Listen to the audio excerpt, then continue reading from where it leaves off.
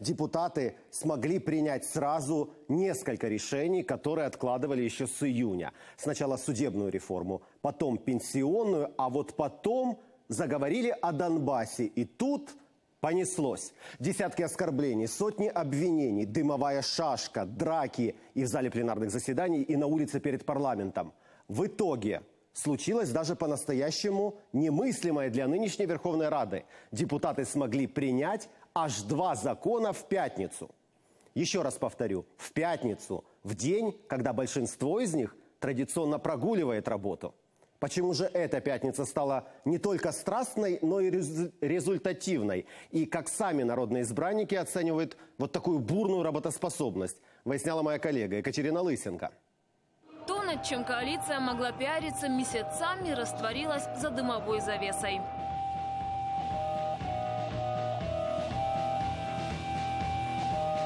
Они спокойно начинали сессионную неделю, перед этим пройдя испытания тысячами правок к судебной реформе. Багато депутатів якраз і вирішили, що більш ефективно проводити свій час за межами залу. Да? Коли ти приходиш в зал і ти просто розумієш, що ти ні на що не впливаєш, буде ця поправка, не буде ця поправка. Аж до останнього моменту просто поправки, ну жодна поправка не була врахована.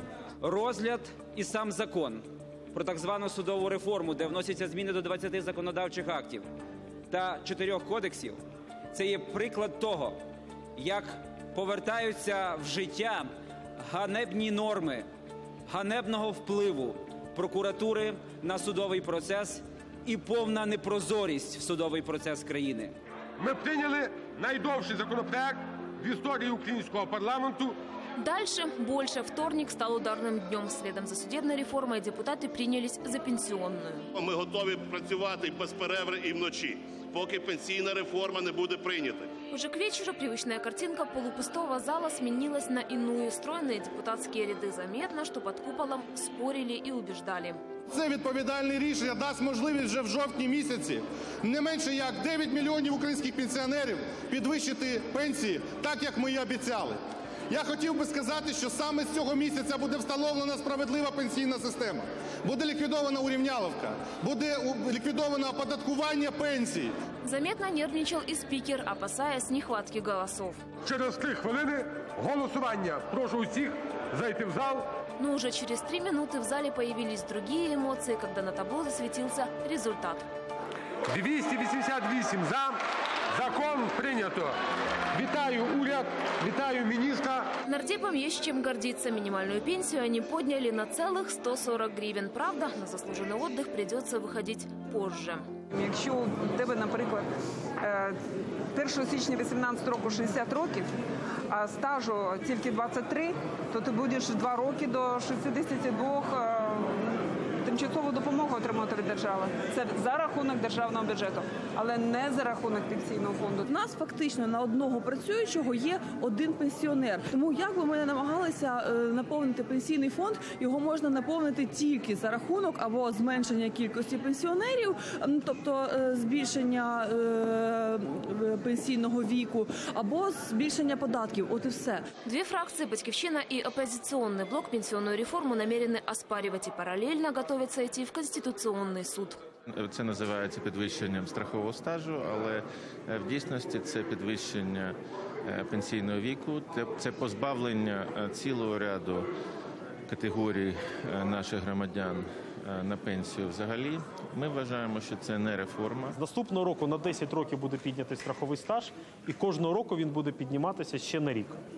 Друге, коефіцієнт нарахування пенсії зменшений з ка- з 1,35 до 1. Е, Третє, звичайно, це ті люди, які мають пильговий вихід на пенсію. Це досить великий спектр людей по списку 1, по списку 2. Це ну, ну, починаючи від освітян, закінчуючи медиків. Вони будуть позбавлені цього права. Но и даже о пенсионной реформе не было у депутатов времени поспорить, ведь в Раде как неотложный появился законопроект о реинтеграции Донбасса и документ, который продлевает особый статус отдельных территорий. Вот тут трибуну и зашатало. Я звертаюсь до колег самопомочі. Я в Мінську не боюсь бойовиків. Вас я тим більше не боюся. На місто сіли. Самопомощь, Батьковщина и Свободовцы вмиг взяли трибуну в осаду. Що ти робиш? Що ти робиш?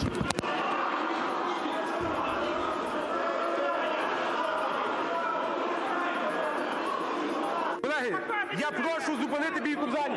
Зупиніться. Я оголошую перерву за правом голови і прошу голів фракції піти до мене в кабінет.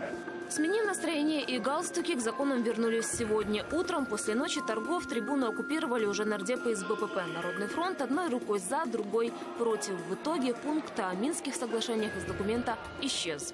На вимогу Народного фронту із законопроекту було вилучено усі посилання на мінські домовленості. Без наших голосів цей законопроект не пройде. Хочу наголосити, це той закон, який передбачає визнання Росії агресором рівнем закону. Країна-агресор, яка визначена нашим законодавством, ніколи не може приймати участь в будь-яких миротворчих м, заходах. Колеги, заспокойтесь, сядьте на місце. В зале было уже неспокойно, у трибуны толкались, а в туалете дымило.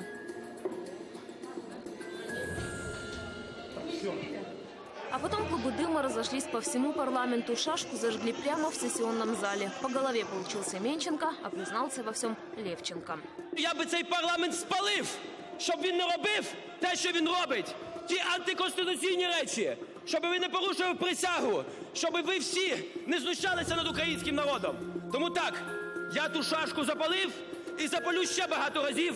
Но в итоге два законопроекта приняты. Нардепы продлили особый статус для Донбасса и поддержали закон о реинтеграции. Россия признана агрессором, а то называется самообороной, ответственный за все объединенный штаб.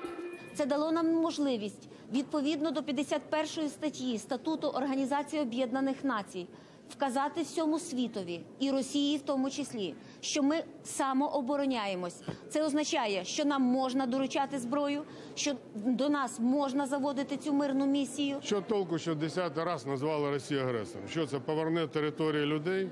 Абсолютно пуста декларація, яка не дає механізму повернення людей.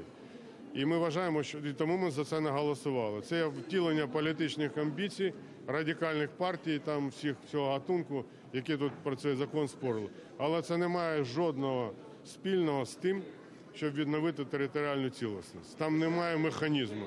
Правда, закон о реинтеграции принят в первом чтении. До второго его будут менять, подбирать формулировки и акценты. Но ради этого документа депутаты в пятницу пришли в сессионный зал, чего в Раде годами не наблюдалось. И ко второму чтению мобилизации будет не меньше. И, судя по настроениям, шашек тоже. Екатерина Лысенко, Анна Каменева, Вадим Ревун. Подробности недели. Телеканал «Интер».